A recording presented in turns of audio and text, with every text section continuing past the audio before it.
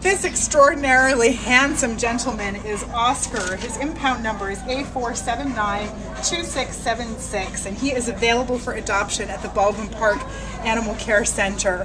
Oscar is a dignified 10-year-old purebred boxer who came to the Animal Care Center uh, because he was abandoned here on the 17th of January. Um, Oscar is just Mr. Manners. he is so polite and well behaved.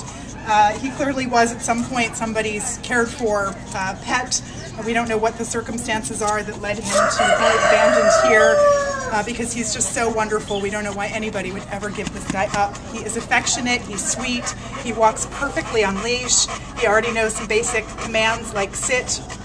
He appears to be friendly with other dogs and he just loves to be with people. He's very kissy, happy, handsome fellow. Um, as a senior, he does have some uh, typical geriatric uh, issues. He's got a few minor lumps and bumps. The shelter already has surgically removed one larger mass from his back left leg, and he's recovering well from that surgery. Hi, sweetheart. He's also a bit underweight right now.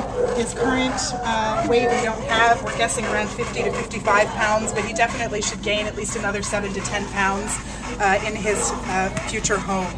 So we hope someone who's looking for a calm and relaxed and very loving and loyal companion will come down to the Baldwin Park Animal Care Center to meet and take home this stellarly handsome and wonderful boy. His impound number again is A4792676. You good boy?